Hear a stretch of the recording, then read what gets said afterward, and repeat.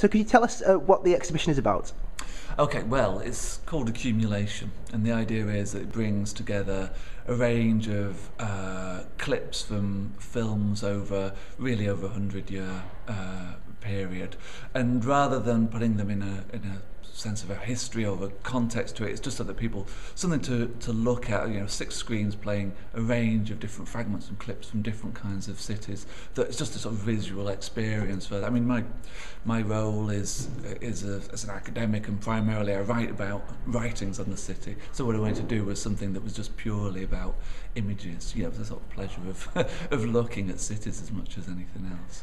And uh, what would what do you hope people would take from the exhibition?